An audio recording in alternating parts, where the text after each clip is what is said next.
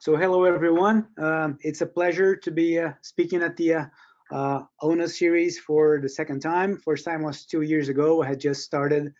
Now it's it's fun to be back with uh, some information that we generated uh, in Florida systems um, over the past two years, and that's what I'm going to talk to you about today.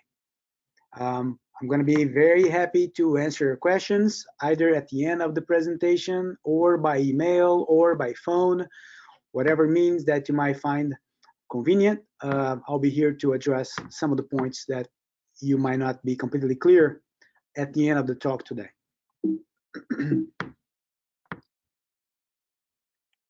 so uh, last week I had a, a the, the, great opportunity that for the for the first time to see a talk from uh, Dr. Uh, Frank Mitloehner. Uh, he's a professor at UC uh, Davis, and he showed us information that's that I think it's really relevant for our reality. Uh, you know, beef production and agriculture in general are under a lot of pressure, and one of the uh, points that people choose to attack us is the methane production. And although I'm no specialist on uh, air quality or air composition, uh, it called me the uh, it called my attention this information that I'm presenting to you here, and he's showing the uh, the the calf the uh, uh, uh, cattle inventory for dairy cattle here in the bottom, and for the beef cattle here on top over over the course of the years. And we can see here for dairy cattle that it it increased over time, and then starting on the 40s and the 50s, it started to decrease. Although, as we know, dairy production has increased uh, over the same uh, period of time. Meanwhile, beef production, the, the, the national beef herd uh, over some variation has been overall increasing up to the 70s and then it has decreased.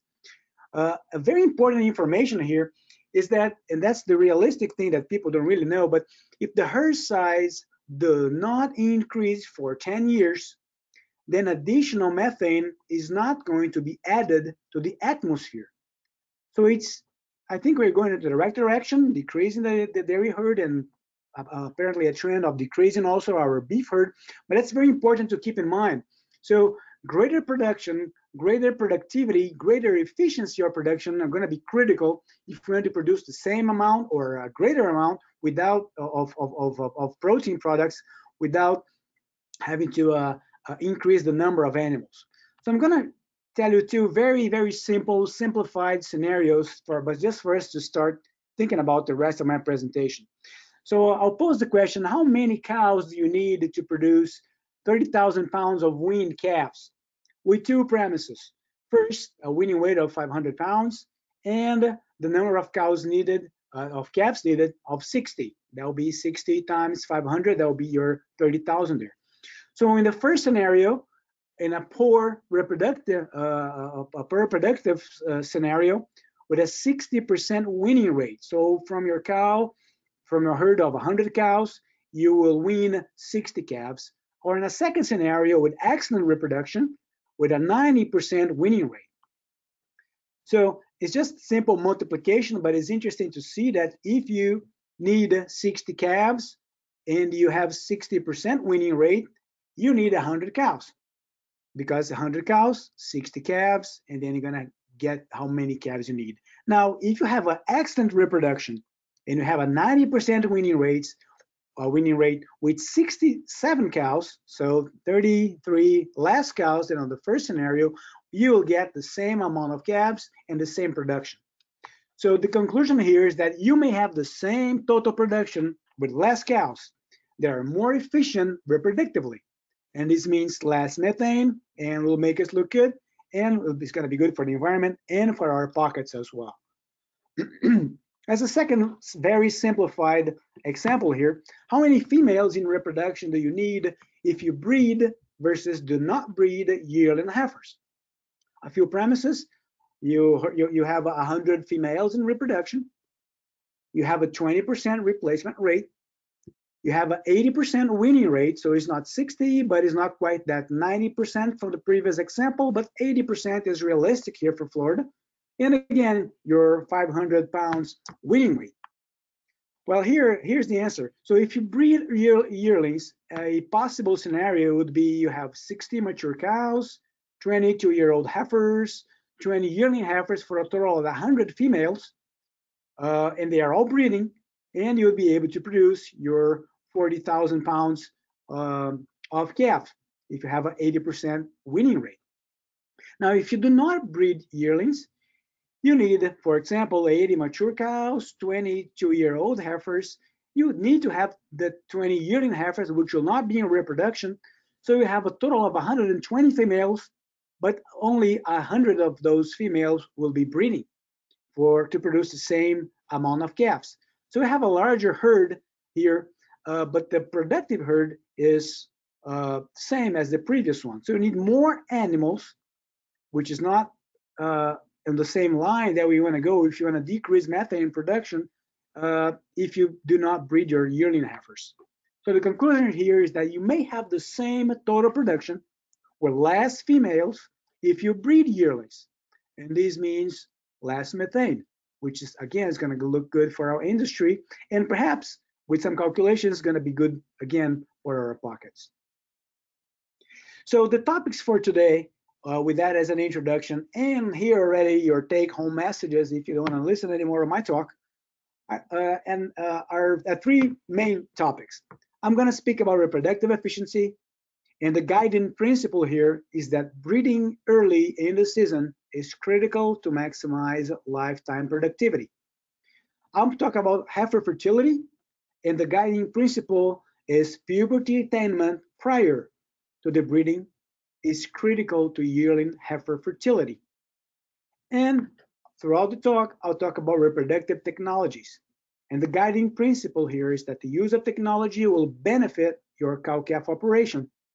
Apply it gradually, don't jump to the most advanced one, and have realistic expectations. Those are the three topics. Uh, I'm going to be talking about them uh, um, uh, in, a, in a mixed way. It's not going to be uh, in this order, but you see these are the important topics for today. So here, here are uh, technologies that we can use in reproduction, and, I'm, I'm, and pretty much I'm going to touch in each one of these during the presentation. You have a ranking of technological level from more simple, from control of the breeding season, all the way to more complex using ovum pickup, and uh, uh, embryo production in vitro and embryo transfer. And again, we have to see what is uh, more suitable for your production system here in Florida. So talking about, uh, to, to start with, the breeding season. So if your cow gets bred on the very first day of the breeding season of year one and has a gestation between 285 to 295 days, if she is to produce one calf at every year, exactly one having a exactly a 12 month calving interval, she only has 70 to 80 days to get pregnant again after that calving, If she is to be bred again on the first day of the subsequent breeding season. Uh, from those 70 to 80 days, 30 days is uterine involution. So in practicality, she'll have between 40 and 50 days to get pregnant again. If if you are to keep a one calf a year, one calf every 12 months from every cow. And that's a challenge. And this is, and, and, and we have to get that in mind when we are calculating the dynamics of the breeding season. So let's see that in a multi-year scenario. So these are four years. Uh, we have a calving season and a breeding season for each of years one, two, three, and four. Uh, we have our breeding season from February 1 to April 30th uh, will be representative for some of the operations here in Florida. Then you have the calving season between November and February. So let's start with the success scenario. And the success scenario is that the dam and the yearling heifer are pregnant at the beginning of breeding season on year four. So here's here's our dam. She got pregnant on the very first day of, of the breeding season. Then uh, next next year she gives uh, she calves a heifer. And then she gets pregnant again on year three and again at year four. That heifer that was born on the very first day of the calving season, now she's uh, she's grown up and she joins the next year uh, breeding season and again gets and also gets pregnant on the very first day and gestates. So that generates a great scenario in the in which by year three you have both the heifer and the mother again becoming pregnant. And that's the sense of this picture here. So that's this heifer here. She was the first one born at the calving season uh, that started last year in November, and that's her mom. So that that scenario uh, um, is possible. And these ladies here, both of them, they are heroes, and they are the ones that we should be uh, uh, trying to uh, uh, uh, obtain in our operations. Those guys that get get get that are born early in the season, that get early in the season, and she's probably very has has a very great probability of joining the next breeding season and be a successful breeder.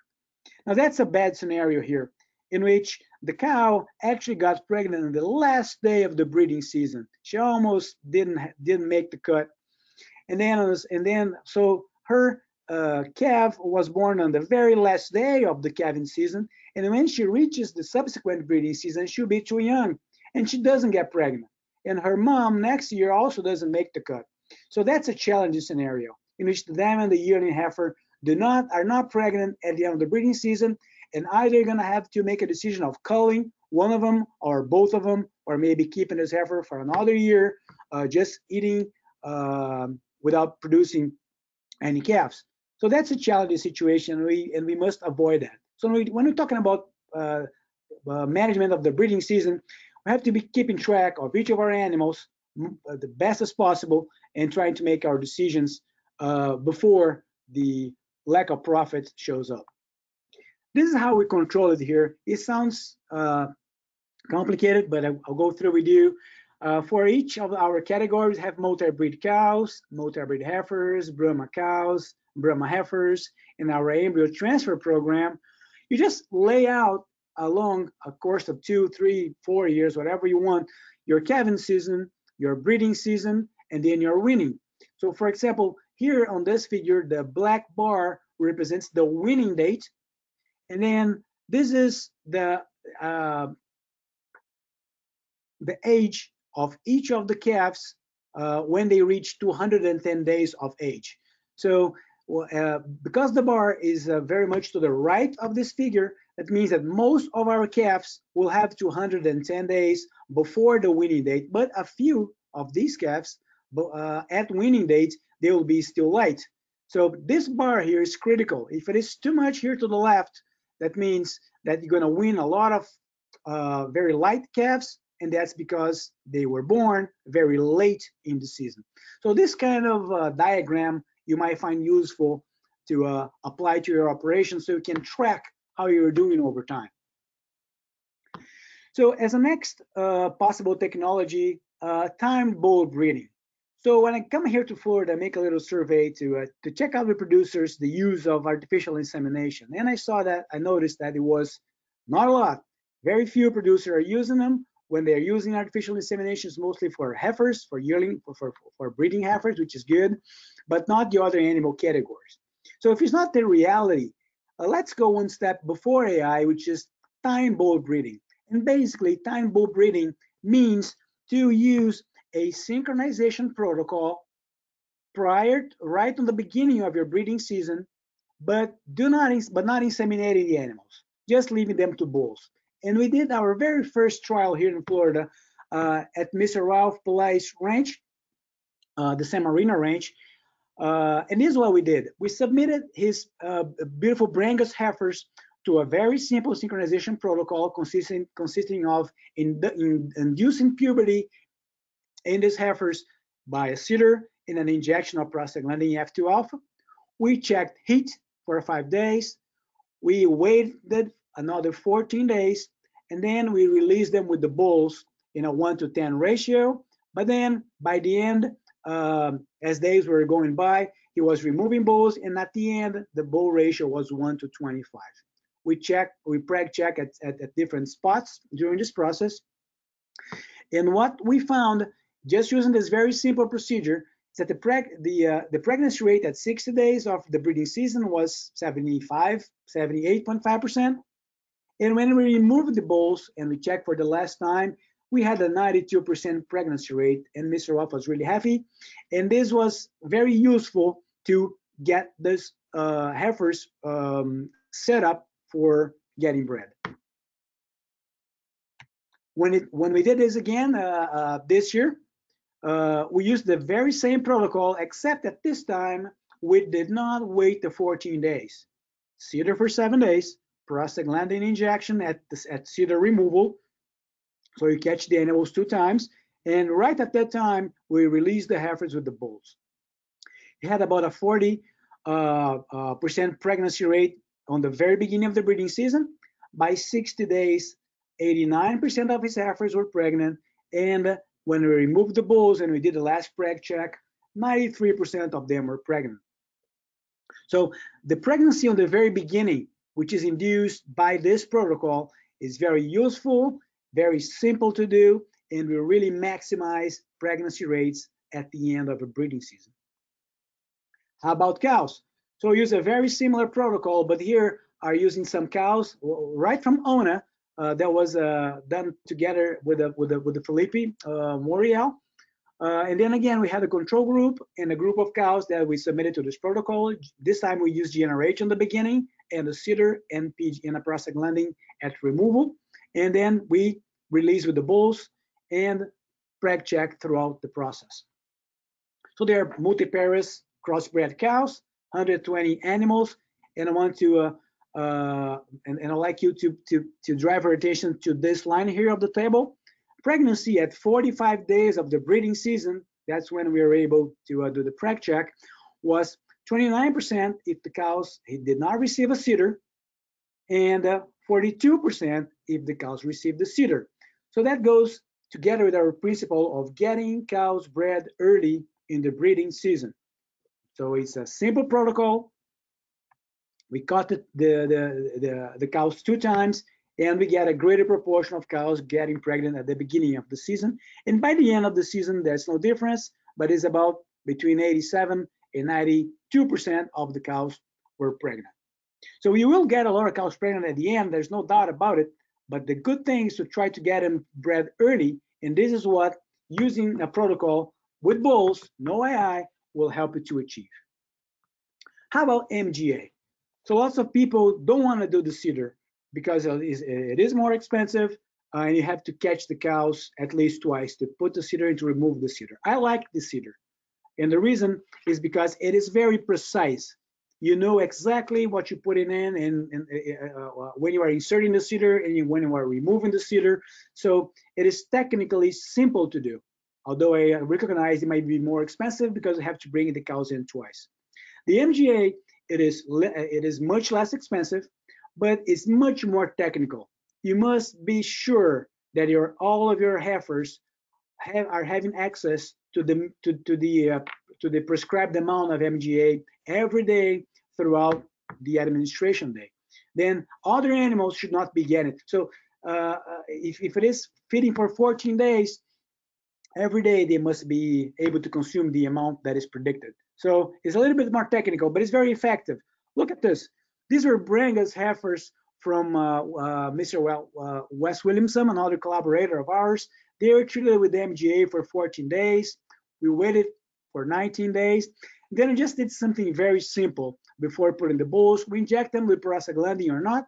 And the idea here was to concentrate the heats and have a larger amount of them uh, bred uh, right on the beginning, right, right after um, uh, the, the moment of bulls end, and then we preg check them. And this is what we got. Uh, so on the on the very beginning uh, of the breeding of the breeding season, on the very first days uh, after we released the bulls, we got about uh, about 35% of them pregnant, and there was no effect of prostaglandin. So that injection didn't help us at all. In the first 60 days, he had between 75 and 79%. We're not be able to do a, a final preg check on these animals because of COVID. Uh, so the take home message here is that yes, MGA uh, is, is, is interesting because we could get we, we, we were able to get a lot of the animals bred uh, right after exposure to the bulls, but the extra injection of prostaglandin did not help us here. And these were again Brangus heifers. Uh, uh, as a second study, we had uh, we, we, we conducted that at uh, Perry Cattle Company. Those these are heifers from the Longino range. So these are, these here are our collaborators on that study. And these animals had been uh, exposed to MGA for 14 days. But then we tried to see if addition of a CIDR uh, and synchronization of these animals after exposure to MGA would be helpful. These are Brangus heifers. And here's the result. So the animals that received uh, uh, a CIDR, uh, they were not, they were, so treating with the CIDR or not treating with the CIDR did not interfere in our pregnancy. It was about 50, let's say 48% on average uh, in, in response to AI. And then at the end of the season, they, they had about 90% pregnant, uh, pregnant animals. So exposure to MGA, positive, a subsequent exposure to the CIDR, not necessary. As we increase our technological level, let's go for AI plus bull. And this is what we do here at our operation and in the, in the Gainesville beef units. Here's the protocol we use. We have been using this for many, many years. It's a Select Synch protocol, CIDR for seven days, GnRH at CIDR insertion, and prostaglandin at removal. Then uh, our manager, Danny Driver, he will observe heat two times, two to three times a day, every day for three days, and he will inseminate uh, uh, uh, these animals that show heat. See in the morning, inseminate on the afternoon, and vice versa. And then at, at, at the end of 84 hours, the cows that did not show heat, he will time AI together with an injection of GnRH. So it's called the Select Synch plus CIDR. And I want to show you these results because I want I, I think it's important that, that people have benchmarks, that they know the potential of the different uh, technologies. So this is our real data in our herd, which is run as in a in a commercial operation. And it goes by categories, and you're gonna see the category to the uh, the the pregnancy rates to the AI, and then the cumulative pregnancy rate that we measure at the end of the season by category. So our yearling heifers, 40% of pregnancy to AI, and 80% at the end of the season. Our primiparous, 43% at AI and 80% at the end. Our secondiparous, uh, which are the cows that are three-year-olds, they got pregnant at 34% uh, to AI and 83% at the end. In our multiparous cows, they were pregnant 44% uh, at the at the end of AI and 92% at the end of the season.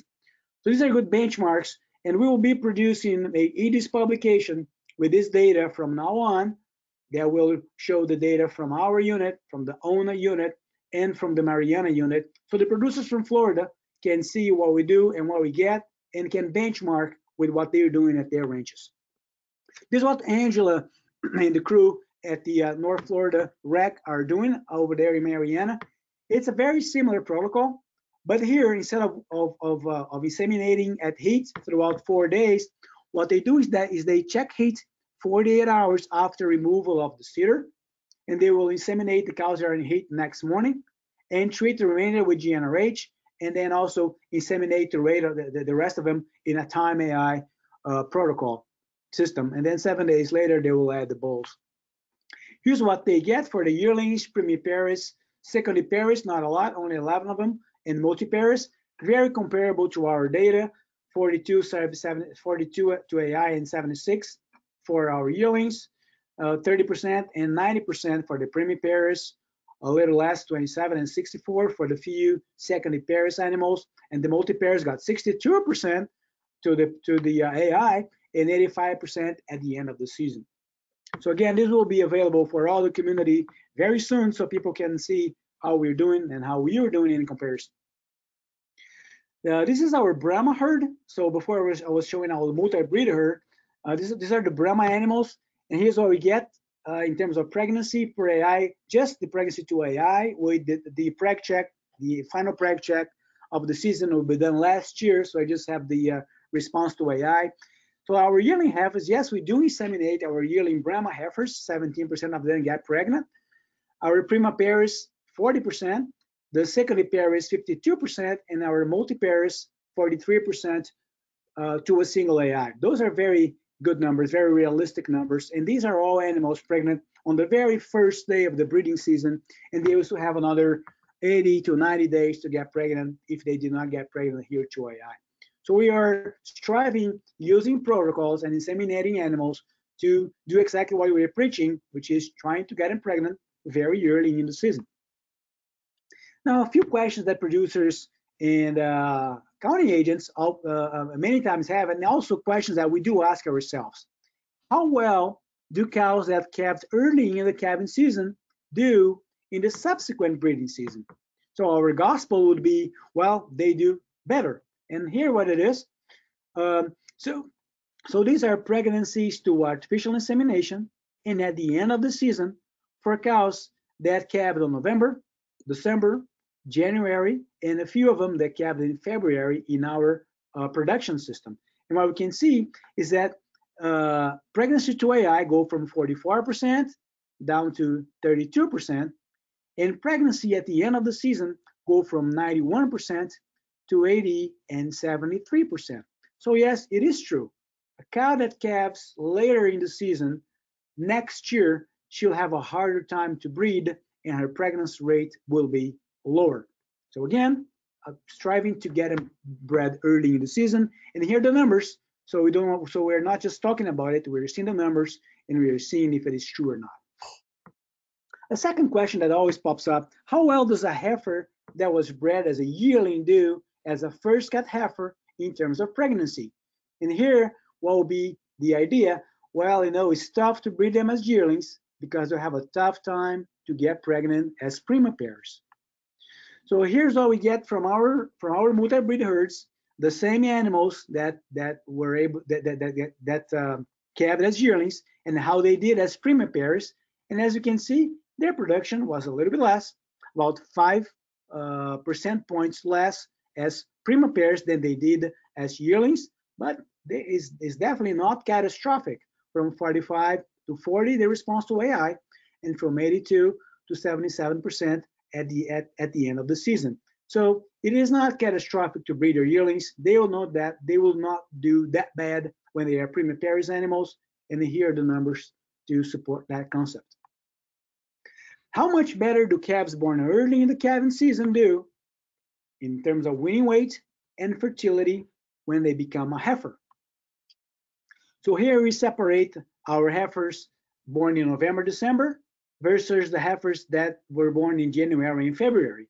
And we're glad to say to say that the one that we have a 147 of them, so three quarters of them were born early, and only one quarter of them was born on the second half of the calving season. But uh, although they had they were they were younger and they were lighter in terms of weight, body weight, their reproductive performance was not that different.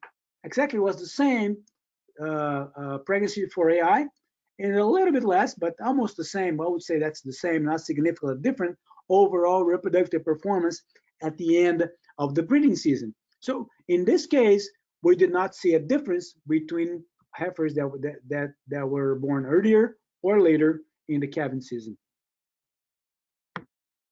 So time AI, that's the dream, right? So uh, we don't want to be catching cows many times to, to just inseminate as, at, at estrus, although that would be the ideal for fertility. We like to, to see a time AI protocol. And uh, I'm, I'm particularly, uh, at this moment, I'm, I'm refraining to push for time AI uh, uh, before I understand more of the system. And here's some data. So first, let's look at this uh, right panel here. So the pregnancy to AI uh, in our hands of the cows that showed estrus is 62%, while the cows that we did time AI, that means they did not show estrus. So then they all received an injection of GnRH and, and were bred is only 21%. So it is less. And the estrus distribution to our protocol is basically, as you see, both for 2019 and 2020.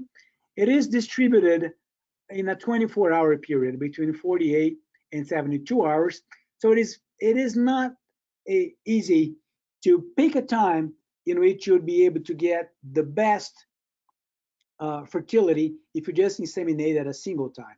So perhaps just like Angela is doing up in Marianna, a split time uh, approach uh, would be uh, the most viable one in which you catch the animals two times.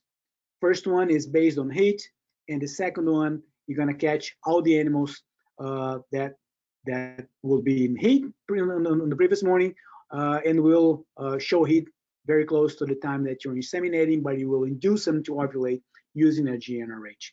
So this is the next, in my opinion, uh, step if you want to get closer to less handling and greatest fertility, remembering that, you know, if, if estrus is involved in the protocol, if they are in estrus, your fertility is going to be much maximized. So now, coming down our, our scale here, how about doing time AI and resyncing the animals and doing another artificial insemination? So we did this in a very limited number of animals, 27 of our Brahma cows. So they were subjected to the protocol as we do normally. They were time AI, but then we use a resynchronization strategy. What does that mean? 14 days after AI, without knowing anything about these animals, just that they were inseminated, we inserted another CIDR on these animals and we left that CIDR for seven days. Then on day 21, we examined these animals using Doppler ultrasonography, which allows us to detect pregnancy as early as 21 days. How is that done? So basically, you make an image of the ovary and of the corpus luteum. If there is very, if it is not vascularized, and you can see that using Doppler ultrasonography by the color Doppler uh, markings, this animal is not pregnant. You inject them with prostaglandin F2 alpha, and two days later, and then you start observing her for heat and inseminate her for a second time. What is our false negative here is 0.1%. So one in 1,000 cows, you will be detected as a false negative. That means you told that she was negative, but she was also, but she was actually pregnant. So it's very safe to use if you know how to use the Doppler and that technology. Uh, how about if she's pregnant? How do you know? Her corpus luteum will be very highly vascularized, and you'll be able to see that in the image. And then you consider that cow as pregnant. You do nothing, just remove the CIDR and let her go, and hopefully she'll, she'll carry on their pregnancy. But here we have a 10% false positive. You will call that animal pregnant, but she just had a vascularized corpus luteum, but was not pregnant. But again, she'll have the remainder of the breeding season to be uh, to be bred by a bull. So uh, it's very good. And this is the result. We got on those 27 Brahma, this just small experiment, we had a 48% uh, pregnancy to the first AI. Then we had a second AI after resynchronization, we got four more of them pregnant, and that got as a cumulative pregnancy rate of 63%. So in 24 days of the breeding season, we have 63% of these animals pregnant. Later, we find out that one of these animals that were that were bred was all, was actually a false positive. So that was our 7% rate uh, rate of of false, false positive animals. But again, that calculates out to 59% pregnant animals in the first 24 days of the breeding season very attractive. There is management. You have to catch the animals two more times. But again, what is the price of having two thirds of your animals bred on the first 24 days of the breeding season? We have to calculate. You have to calculate and see if, if it is worthwhile for you. But most importantly, this is done worldwide. We had to show that can be done in Florida, and here you go. It's shown that it can be done in our Brahma cows. So the very top uh, level of technology is doing ovum pickup, doing IVF, and embryo transfer. That means you will choose your donor animals, you will collect oocytes from them, you collect the semen from the best bull and fertilize those oocytes in vitro, produce embryos, and transfer. And I'm not gonna, uh, for, for, for, for, for time's sake, uh, I'm not gonna tell the results, but we have been doing this. It was supported by the Florida Cattlemen Association that's uh, on the expansion of our Brahma herd. And just overall, we selected our donor cows both by genomic uh, parameters and by phenotypic parameters. And we were helped by the manager, Danny Driver, Dr. Hansen, Dr. Mateescu, and Dr. Thrift. And we collected oocytes from 13 of our best Brahma cows, producing embryos, and we have recipients now pregnant from these embryos here in Florida. So again, in our herd, the very top in terms of technology, we can do it and we are doing it and we have been successfully on doing it. And uh, if you are interested, let us know, give us a ring and we'll help you out on that. This is a, a important uh, project that has to do with heifers and I have to share with you because it was also uh, sponsored by the Florida Cattlemen Association. Many rangers were, uh, were, were, involved in this project, and it has to do with puberty induction as a strategy to increase reproductive performance of Brahma-influenced heifers. We thank everybody that's been involved. It's been a, a very good uh, experience. And here, what we do is basically do a pre-breeding heifer evaluation, which is called the reproductive tract score. And basically, we use an ultrasound to evaluate the uterus and the ovaries of, of these heifers to check for attainment of puberty. In the ovary, we check for the presence of a follicle in a corpus luteum. And in the uterus, we check for how thick it is, which is a representative of maturity of the reproductive tract and the ability of that heifer to become pregnant. This is Tiago, and he's doing all of this work here, working together uh, with Logan at his uh, uh, uh, uh with some of the cows, and we are doing preg check on this case, but this is uh, what we are doing for reproductive tract score as well. So here are the classifications. They go from one to five. The first three reproductive tract scores, uh, they are from uh, from heifers that that have not uh, attained puberty the four and the five, they are either pubertal or they're attaining puberty. And again, it is based on ovarian characteristics and uterine characteristics that we are able to measure and assign a score to these animals. So in our in our project, uh, our idea was to check the uh, necessity to induce puberty in animals, and we use that, and we and we we did that by fir first classifying animals as pubertal or prepubertal based on reproductive tract scores that we did too, 10 days apart. And then we split these heifers to either receive a CIDR or do not receive a CIDR for induction. Now, all of these animals were subsequently exposed to a synchronization protocol, and they were and they were all artificially inseminated based on heat or based on time AI. So first of all, here's the reproductive tract scores of animals prior to the beginning of the breeding season and just prior to insemination. So what, so what we see is that we had animals that were already pubertal, they had a, a large reproductive tract score, and regardless if these animals received or did not receive a CIDR, most of them maintained a high reproductive tract score just prior to insemination.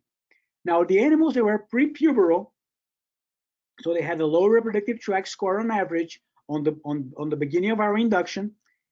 Uh, despite the fact that they received a CIDR or did not receive a CIDR for induction, because they all did receive a CIDR for synchronization, they all had an increased reproductive tract score just prior to insemination.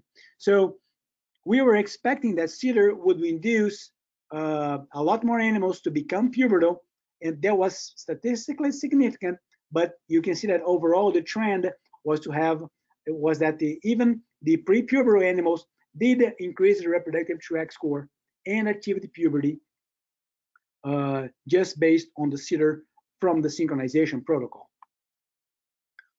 This is a, a, different way to look at that information, and that's a little bit complicated, but I'm gonna uh, walk you through this. So this is the reproductive tract scores of these animals prior to induction. So this is how we found the animals. And they were classified in, in, in reproductive tract scores from one to five. There were less animals with reproductive scare, uh, scores of one and two, and more, three, four, and much more with five. First important information is that we are, uh, each of these points is a heifer, and we are uh, showing the distribution of this heifer according to reproductive tract score to their body weights. And you can see that from very light body weights to very to, to, to much heavier uh, body weights, um, they were distributed in the different categories of reproductive tract score. So it's not that it's not that just all the heavy heifers had a high reproductive tract score. That's not true. The same happened to lighter heifers. A second important information here is that we marked heifers with a with a with a circle if just prior to insemination they had the reproductive tract score less than four. So they were still immature at the time of AI. Or if they mark as a triangle, if they did increase the reproductive tract score and they had four or five reproductive tract score just prior to AI. So what we can see here is that if they had a reproductive tract, a low reproductive tract score when we started induction, by the time of AI, only 32% of them did increase their reproductive tract score and became mature. And that's gradually increasing up to the point that, of course, if they were already mature prior to induction, a very large proportion of them were still mature at the time of AI. In terms of pregnancy, uh, again, uh, which is similar to what I showed in terms of the reproductive tract scores, what we found was that the prepubertal heifers, despite if they were treated or not treated with the CIDR, they got pregnant at about 30% uh, of the cases to AI, while the animals that were puberal, they were pregnant about 46 to 47% of the time. So in our case, we had to reject our hypothesis and pre-exposure to a CIDR did not induce animals that were prepubertal to puberty to uh, become pregnant to a single AI. When we look at the distribution of open and pregnant animals according to the reproductive tract score prior to AI, what we see is very remarkable. So animals that entered uh, prior to entering the breeding season, when they were at the point of induction, 23 days before artificial insemination, if they had a reproductive score of one, only 17% of those animals became pregnant. And that again increased gradually. And if they had attained puberty prior to the beginning of the breeding season, they got pregnancy pregnant at 46% of the cases. So again, evaluating the status of these animals prior to the beginning of the breeding season, see these one and twos here, you, you will have a very good idea of what your animals are going to do uh, if you inseminate them if you if you uh, carry them on through the breeding season. And here's a overall breakdown of the animals. So this is pregnancy to AI and, and cumulative pregnancy to the end of the breeding season of animals that scored reproductive tract scores one or two in black versus animals that had a reproductive tract score three and five in gray prior to the beginning of the breeding season. And again, this is what you should expect. If your animals enter the breeding season with their blood tract scores of one and two, this is how much, this is how well they're going to do. They're going to get 27% pregnant in the beginning and will you know, finish the breeding season 77%, while the if, if they are mature with a reproductive tract score of three to five, they will get pregnant in a much higher proportion at the very beginning of the breeding season. And again, that's very important for the reproductive success of the remainder of the reproductive life of that animal. So knowing how she's going to do in the beginning of the season is very important. With that, I want to make a little uh, advertisement here for a program that you should stay tuned is going to come about. That's called Who's My Heifer? And it's a program to that that that with that has the objective to establish a statewide system to generate and analyze report information on the reproductive potential and performance of replacement heifers. In practicality, we'll go to your ranch and we'll do reproductive tract scores prior to the breeding season, and we'll measure the performance of these heifers by a preg check at the end of the season, and you'll be able to know for your operation how your heifers are doing, make your strategic decisions, and we'll also integrate a program that's an educational program and an extension program in which we'll gather information for the whole state of Florida and, and help us uh, develop further education programs and strategies for the producer. So stay tuned. Uh, that's going to come up hopefully on this breeding season that's just coming around the corner. Uh, finally, before I finish, I just want to use this last two minutes to show the limit of uh, what we are doing now in terms of technicality. And this is another project that we're very fortunate to get sponsored by the Florida Cattlemen Association, which is predicting puberty in Brahma heifers. And the specific objectivity objective of this proposal was to discover non-genomic molecular markers, that means from blood samples, that could be used to predict early puberty in Brahma heifers.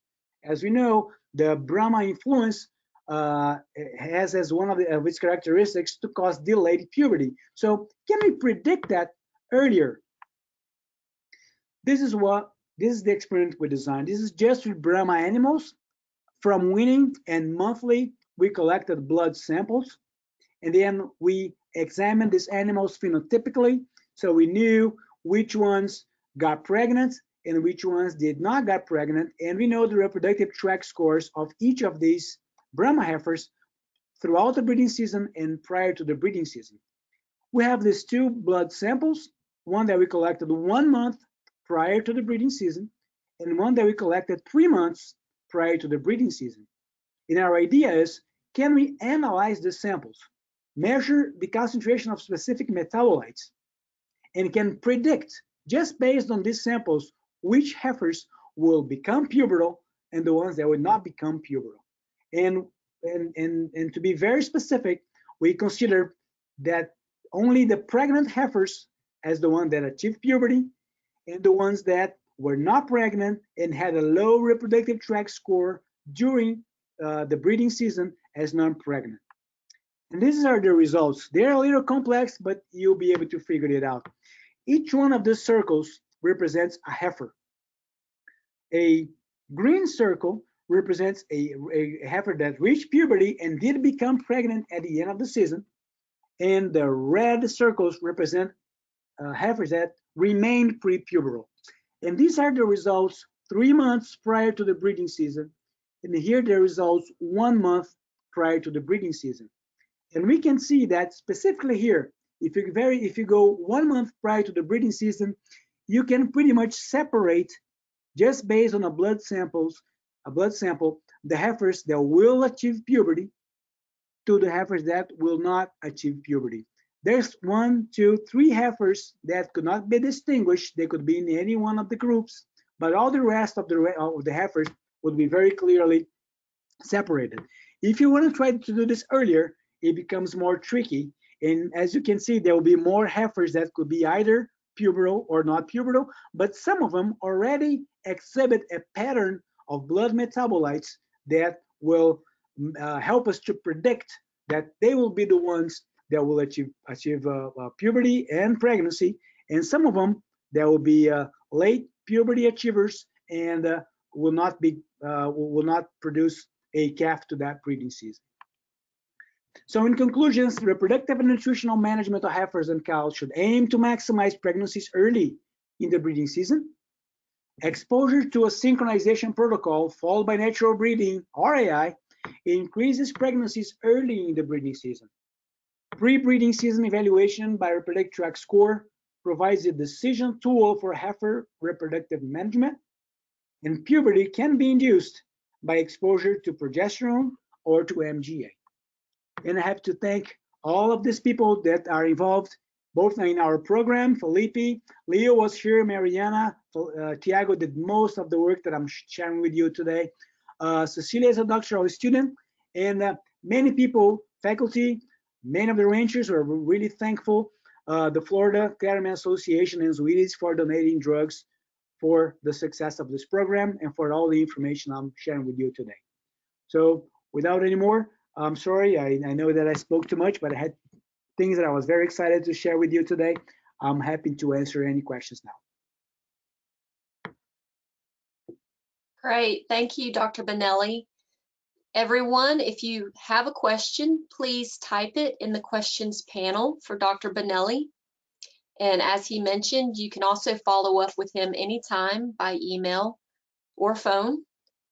And something else that uh, while we're waiting that I'd like to mention is after this program ends, you will receive a, a quick survey that we would really love to, to hear from you to get your input, um, not only on this program and what you learned, how you enjoyed it, also uh, very soon we're going to be setting up our schedule for 2021 ONA highlights and we're interested to know um, what topics you might be interested in hearing from our faculty in regard to their disciplinary expertise, as well as uh, if you might know of a guest presenter that we might welcome next year. Uh, as Dr. Binelli, we usually have a few presenters that are guests. Is there anybody in particular that you think that we should invite? That question is also on there. All right, we have a question or a comment. Um, Kurt says, thank you, Dr. Binelli. Excellent presentation and great information for Florida cattle producers. Thank you. Um, That's really appreciated. That's the idea, to uh, see what's uh, available and what's limited here and try to contribute with, uh, with our expertise. We do a boots on the ground approach. We go to a ranch, we help you um, to try to implement some of these technologies and to understand hopefully better what's going on. And if you, and of course, and many times it can be improved and we are here to help. Thank you. Okay, we have a question from Joe Bitter. He says, great information or great presentation today. What was the criteria to when the breeding season started in most of your studies? And any info or results for your last heifer induced puberty study using heifer's age as variable instead of the weight like you showed. So um, the criteria to to to start the breeding season um, is it's it's it's sometimes set to most of the operations and is basically a you have to do a calculation uh, forward to the time when you plan to have your calves weaned and shipped. And that has market considerations that every operation has to do. So depending on when you're planning on commercializing your calves you have to uh, go back and uh, figure out where you want to start your breeding season. So in south florida uh, I can see from the operations that I've been, people try to get their animals bred by the end of December, most of the time. Here in our operation, we breed them a little bit later, uh, in February. In our Brahma herd, we breed them in, in April and May. And the idea is to avoid calves being born in the colder months because we do have some calf mortality associated with cold spells. Uh, specifically to that Brahma herd, it's interesting because very recently we shifted the breeding season a month ahead exactly with uh, as a strategy to prevent birth of calves on the colder months. So, you know, it is something that you can manipulate um, and adjust, but basically should be should be uh, coherent with the times when uh, with the moment that you're thinking about commercializing your calves. In terms of the second question, so in terms of of uh, of, uh, of age, uh, there is variability. Age is pretty much associated with uh, with body weight. Uh, there is a range. There will be heifers that are younger, but they will achieve puberty at a younger age. but usually um, the attainment of puberty is associated with with age. So trying to get them induced or trying to get them bred uh, when they are very early, you're not going to be successful. Your break track score is going to be low and will must probably remain low for a long portion of the season. And the and what can happen to you is that maybe she'll get she'll attain puberty by the end of the season, then she'll get bred at the end of the season, and she'll be that problematic heifer for you to the end of your life, which is all the time. She's going to get bred at the end of the season until she fails a year. and then you have gonna have to call her. Okay, um, you have one more question from Micah. Asks, is the breeding calendar spreadsheet available? Uh, uh, that's that's um, we can we I can make that available, no problem. Uh, that was uh, that was basically something we we uh, we, we made uh, in house for because I think it makes it very easy to uh, to visualize what we are doing. I'm always trying to uh, to benchmark, you know, to to show exactly what we are doing, so that you know, so so it goes beyond just talking about it. You actually you can actually see it but uh, I can I can send you what I uh, what I got. It's not a, a a a model for you to fill in your data, but you you're just giving me an idea. Maybe I'll do that. Maybe I'll try to produce something that you can uh, yourself enter your own information there. It's very useful for me. I'm a visual person. When I see it, you know, I can much easier talk about it. So yes, we can we can do it. If, if you shoot me an email, uh, I can try to uh, talk to you and arrange something specifically for you. Dr. Bitter says, and about the CIDRs used in your studies, were all brand new ones or were some second or third time use? So it, it, it was highly dependent on on each study, but we did use all kinds of CIDRs, not just uh, not just new ones. We used used CIDRs also that we uh, sanitized and uh, them. And the idea there is to have a less concentration of progesterone in these uh, CIDR implants, which are usually favorable for Brahma cows and for Brahma influenced cows that do not do very well with used CIDRs sometimes, with with new CIDRs sometimes. So we used we used previously used CIDRs, yes.